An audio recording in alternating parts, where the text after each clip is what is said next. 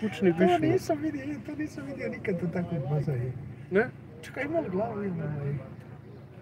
Nikad nisam vidio tako nešto.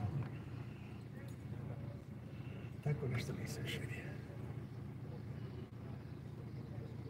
A, što ti vidio takvu pas?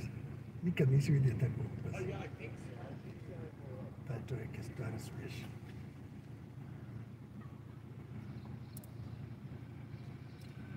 Svašta može.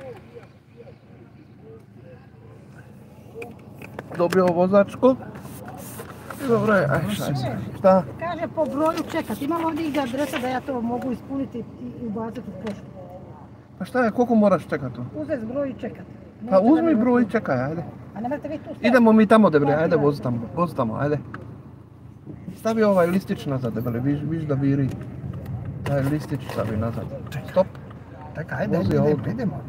Pa stavi listić nazad tu. Čekaj, čekaj. Gdje ti je sad pao? Ma nije tu je. Stavi ga nazad. Stavit ću. Dino je bilo to, tako. Evo vozi tu tamo. Još malo. Evo stani tu negdje, gdje možeš, Čekaj, čekaj. gdje je slobodno. Nije nigdje slobodno. Pust mene van i okreni se ti, čekaj. Dobro. Čekaj, Ajde, ajde. stop, Ajde. halt an. Ajde. Gottes Willen. Šuti mali. Izlazi.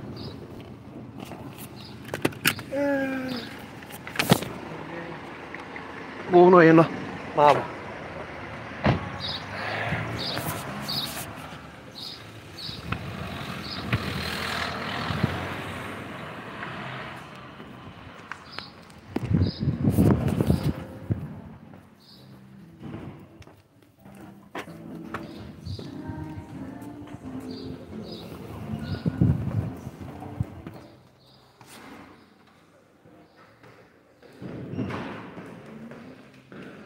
dan.